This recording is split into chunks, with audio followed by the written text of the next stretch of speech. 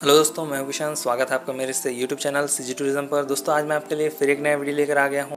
इस वीडियो में आपको लेकर चलूँगा खरौद, जहाँ है एक अद्भुत लक्ष्मणेश्वर मंदिर। जी हाँ दोस्तों, यह वही खरौद है जिसे छत्तीसगढ़ का छोटा काशी भी कहा जाता है। यहाँ आपको शबरी मंदिर और अंडल देव मंदिर भी देखने को मिलते हैं। मंदिर के बारे में दोस्तों, आप बोर्ड्स में देख सकते हैं, पॉज करके पढ़ भी सकते हैं। मंदिर के इतिहास के बारे में लिखा हुआ है। जो मंदिर है दोस्तों, लक्ष्मणेश्वर मंदिर, यह खरौद में स्थित है, जो बिलासपुर से लगभग इकसठ किलोमीटर दूर शिवरीनारायण के रास्ते पर स्थित है। और रायपुर से 130 किलोमीटर दूर स्थित है। आप यहाँ बस बाई कार किसी भी साधन द्वारा आ सकते हैं। मंदिर जो है दोस्तों, वह छत्तीसगढ़ पुरातत्व विभाग द्वारा संरक्षित स्मारक का दर्जा प्राप्त किए हुए हैं, जिसे स्टेट प्रोटेक्टेड मॉन्यूमेंट भी कह सकते हैं। मंदिर के आसपास दोस्तों, आपको रामायणकालीन सीता राम एवं लक्ष्मण के चित्र अंकन देखने को मिलते हैं। मंदिर ऐतिहासिक और धार्मिक रूप से प्रसिद्ध है। मंदिर का निर्माण सिरपुर के चंद्रवंशी शासकों द्वारा आठवीं शताब्दी में करवाया गया था। मंदिर में जो सबसे प्रसिद्ध है, वह दोस्तों, इस मंदिर का शिवलिंग है, जिसके बारे में हम लोग आगे जानेंगे। इसके अलावा दोस्तों, यहाँ आपको दो पुरातत्विक शिलालेख भी मिलते हैं, जिसके बारे में भी आगे बात करेंगे।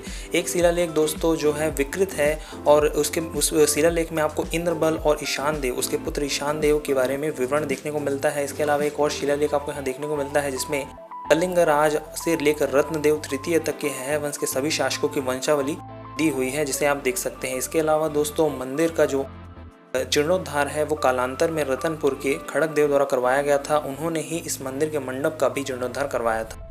मंदिर के बारे में दोस्तों, वैसे बहुत सारी कहानियाँ प्रसिद्ध हैं, लेकिन एक किवंदतियाँ जो बहुत पर कराती है, जिसके बारे में आपको बताना चाहूँगा। मंदिर में जो दोस्तों श्री राम और लक्ष्मण के बारे में काफ़ी आपको अंकन देखने को मिलता है। यह इसलिए है क्योंकि जब श्री राम और लक्ष्मण लंका पर विजय प्राप्त कर वापस आए तो लक्ष्मण के निवेदन के द्वारा ही इस मंदिर का निर्माण करवाया गया था, इसलिए इसे लक्ष्मणेश्वर मंदिर कहते हैं।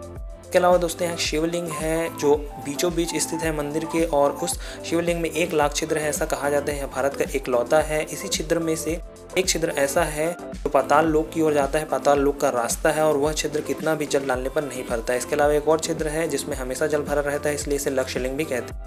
ऐसे तो दोस्तों, मंदिर में विशेष मौक़ों पर काफ़ी भीड़ होती है, लेकिन खासकर सावन के सोमवार और शिवरात्रि के समय यहाँ काफ़ी भीड़ होती है तो आप लोग इस समय यहाँ आ सकते हैं। वैसे तो आप इस मंदिर में कभी भी आ सकते हैं और इस मंदिर का आनंद ले सकते हैं। तो दोस्तों, अगर वीडियो पसंद आया हो तो प्लीज़ इस वीडियो को लाइक कीजिएगा, शेयर कीजिएगा, साथ ही मेरे चैनल सीजी टूरिज़्म को सब्सक्राइब कीजिएगा।